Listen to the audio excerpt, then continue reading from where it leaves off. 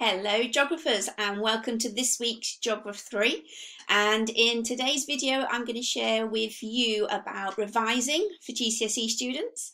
We're going to be looking at the use of AI in geography and we're also going to be looking at a very quick article that is just beautiful. It's about star-shaped um, sand on a beach in Japan kind of giving it away there. Anyway, let's get cracking.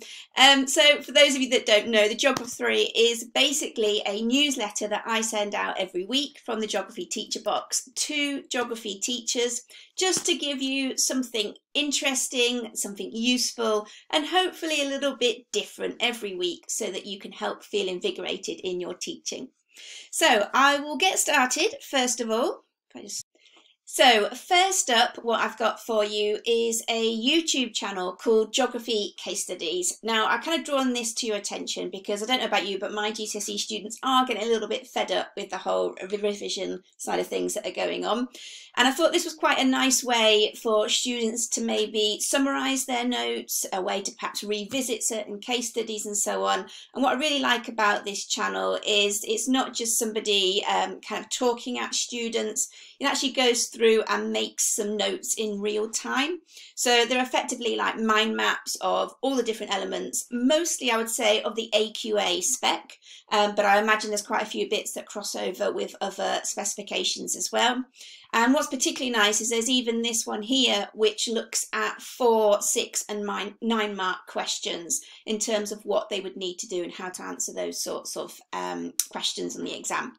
So hopefully that would be useful for some of your students. The other thing that I just wanted to talk to you briefly about is AI. Now, it's everywhere at the moment, isn't it, in terms of Chat GPT? There's all sorts of other ones. I think there's something called TeachMate AI out there as well now.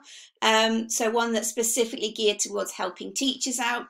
Um, but I thought if you wanted kind of a little way in that's not overwhelming and full of all the fluff and the arguments and the controversy that's going on, you might want to check out this blog from Kate Stockings. She's done quite a useful short piece um, that kind of signposts some other relevant articles and video clips that you might find useful. Um, so a super little starting point if you want to kind of dig into the world of AI and use it in geography education. Okay. Um, the other thing I was going to very quickly mention about Kate Stockings, I've noticed that she is also involved in a new project for Carousel. Um, I think Carousel is already a company that exists, but effectively um, they're launching a geography element of it. And they've got um, a webinar coming up on the 10th of May and from what I can work out, it seems to me that Carousel is effectively a way of providing a huge question bank to facilitate retrieval practice.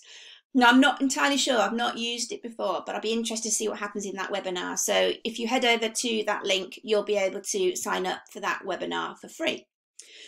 And so the last thing that I wanted to talk to you about very briefly is these wonderful things that have washed up on uh, Japanese beaches in Okinawa. Um, so these are effectively um, star-shaped shells that have washed up on the beach, but don't they look beautiful? So if nothing else, just something to make you smile and kind of look at the wonder, that is, of course, geography. Okay then guys, so I'm going to stop there. Um, hopefully you've enjoyed that. If you want to subscribe to my newsletter, head over to my website. It's on www.thegeographyteacherbox.com and you will get all of this juicy goodness in an email every week to your inbox with all the uh, links included as well. Okay, bye for now.